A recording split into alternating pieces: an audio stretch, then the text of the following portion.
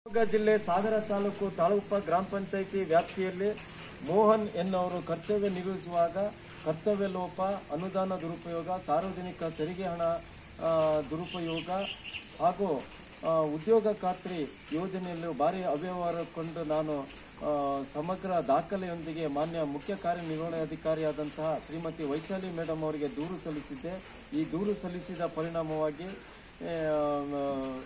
ನನ್ನ ದೂರನ್ನು ಪುರಸ್ಕರಿಸಿದ ಇವು ವಿಚಾರಣೆಯನ್ನು ಮಾಡಿ, ನಾ ಮಾಡಿದಂಥ ಆರೋಪಗಳೆಲ್ಲವೂ ಸಾಬೀತಾಗಿದ್ದು, ಈ ಬಗ್ಗೆ ಮಾನ್ಯ ಮುಖ್ಯ ಕಾರ್ಯನಿರ್ವಹಣಾಧಿಕಾರಿಗಳು ಹಾಗೂ ಜಿಲ್ಲಾ ಪಂಚಾಯಿತಿಯ ಕೃಷಿ ಪ್ರಾಧಿಕಾರಿಗಳಾದಂತಹ ಶ್ರೀಮತಿ ವೈಶಾಲಿ ಮೇಡಮ್ ಅವರು ಶ್ರೀ ಮೋಹನ್ ಎನ್ ವಿರುದ್ಧ ಒಂದು ವಾರ್ಷಿಕ ಬಡ್ತಿಯನ್ನು ಪರಿಣಾಮ ರಹಿತವಾಗಿ ತಡೆಹಿಡಿಯಲು ದಂಡ ಸಹಿತ ದಂಡ ಸಹಿತ ವಿಧಿಸಿರುತ್ತಾರೆ ಅಲ್ಲದೆ ಆರು ಲಕ್ಷದ ಅರವತ್ತೆರಡು ಸಾವಿರದ ನಾನೂರ ಏಳು ರೂಪಾಯಿ ಏನು ಅವ್ಯವಹಾರ ಮಾಡಿದೆ, ಇದನ್ನು ಸರ್ಕಾರಕ್ಕೆ ಭರಿಸಬೇಕಂತ ಹೇಳಿ ಪಂಚಾಯತ್ ರಾಜ್ ಅಧಿನಿಯಮದಲ್ಲಿ ಸೂಚನೆ ನೀಡಿ ಆದೇಶ ಮಾಡಿದ್ದಾರೆ.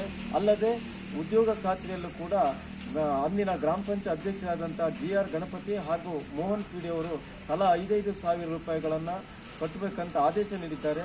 ಈ ಬಗ್ಗೆ ಏನು ಗ್ರಾಮ ಪಂಚಾಯಿತಿ ಮಟ್ಟದಲ್ಲಿ ಅವ್ಯವಹಾರ ನಡೀತಿದೆ. ಪ್ರತಿಯೊಂದು ಗ್ರಾಮ ಪಂಚಾಯಿತಿಯಲ್ಲೂ ಈ ರೀತಿ ಅವ್ಯವಹಾರ ನಡೀತಾ ಇರೋದನ್ನು ಕಂಡು ಬಂದಿರ್ತದೆ. ಸ್ಥಳೀಯವರು ಈ ಬಗ್ಗೆ ಹೋರಾಟವನ್ನು ಮಾಡಬೇಕು. ಅಲ್ಲದೆ ಈ ಕೊರೋನಾ ಸಂದರ್ಭದಲ್ಲಿ ಎನ್ಕ್ವೈರಿ ತಡೆಯ ತಡವಾಗಿ ಆದರೂ ಸಹ ಮಾನ್ಯ ವೈಶಾಲಿ ಮೇಡಮ್ ಅವರು ಈ ಒಂದು ತೀರ್ಪನ್ನು ನಾನು ಸ್ವಾಗತಿಸ್ತೇನೆ. ಅಲ್ಲದೆ ಈ ಥರ ಅವ್ಯವಹಾರ ಮಾಡಿರೋಂಥ ಗ್ರಾಮ ಪಂಚಾಯತ್ ಪಿ ಡಿ ಒ ವಿರುದ್ಧ ಕೂಡಲೇ ಅವರನ್ನು ಅಮಾನತ್ತು ಇಟ್ಟು ಕೆಲಸದಿಂದ ವಜಾ ಮಾಡಬೇಕು ಅಂತ ಹೇಳಿ ಈ ಮೂಲಕ ತಮ್ಮಲ್ಲಿ ತಿಳಿಪಡಿಸ್ತೀನಿ